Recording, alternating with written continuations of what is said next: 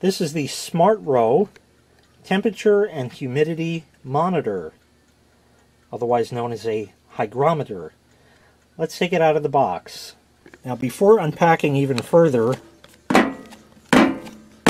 it's magnetic and it also has a stand so you can keep it upright. So that means you can put this on your fridge if you wanted to and just have it right there showing the temperature and humidity for you.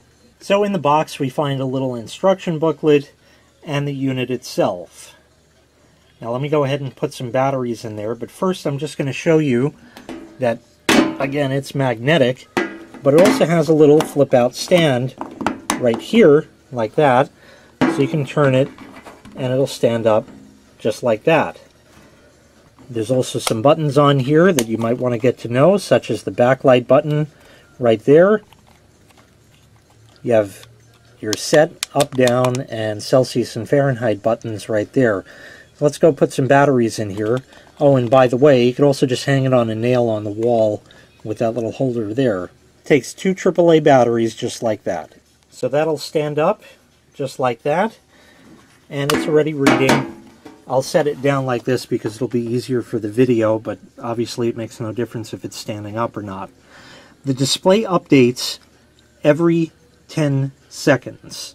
So you'll always have a very up-to-date reading of the humidity at the top and temperature at the bottom. It also has the high and the low for the temperature and the high and the low for the humidity. There's also a button on top that you just press. It's not a click button or anything like that and that will turn on the backlight and that stays on for oh 10 or 15 seconds or so at which point it'll go out you can just touch it again and it'll come back to life like that uh, it's done that way of course so it doesn't drain the battery because if it left the backlight on all the time the battery wouldn't last very long now this is a pretty sensitive and pretty nice uh, temperature and humidity monitor because it can also be calibrated as it explains here. That means if you have a thermometer that you trust the reading of, uh, in other words, you know it to be correct, you can set this so it will directly match that of the one that you have. And that's how you would calibrate it. You calibrate it against a known source.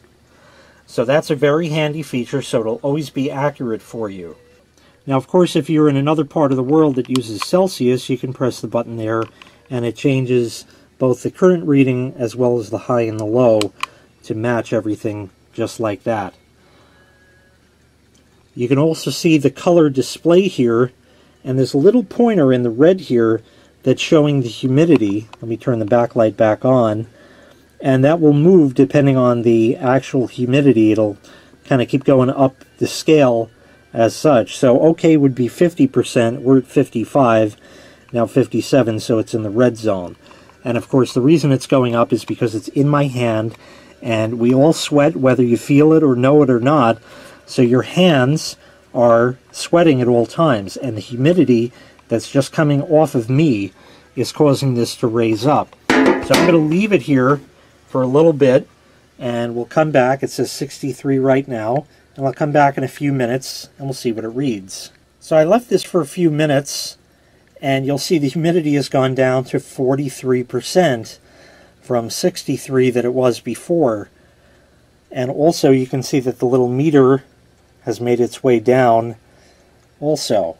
Just to ensure you of the accuracy of the readings on these, I have three of them. And everything is within one point of everything else. 4176, 4077, 4177. Everything is within a point either way, up or down. Very, very accurate, and I have not calibrated any of these at all whatsoever. This is out of the box, put batteries in, and this is what you get. And again, if you want to calibrate it to a good known source, you can be assured of a very accurate reading. So a very nice thermometer, and hygrometer from SMARTRO. If you'd like to purchase this item, I'll leave a link in the video description where you can find it available for sale on Amazon. Thanks for watching. Make sure you click like, make sure you click subscribe, And take care. We'll see you next time. Bye-bye.